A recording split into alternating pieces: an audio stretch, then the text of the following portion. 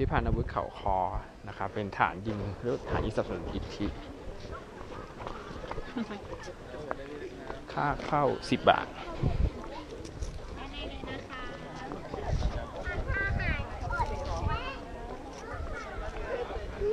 สิบบาทครับถ้าจำพรเข้าเลยครับ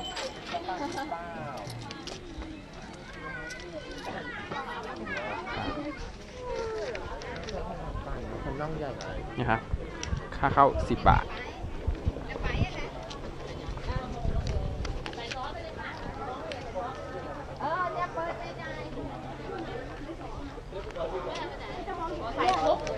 จะมองเห็นหรือเปล่าเห็นจะตาสั้นเลย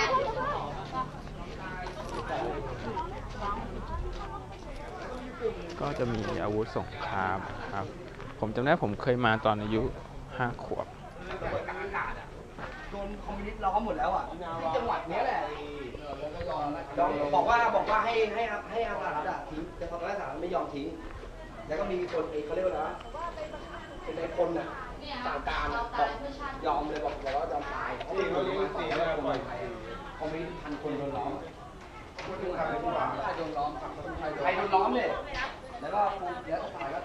ระเบิดปูพรมเลย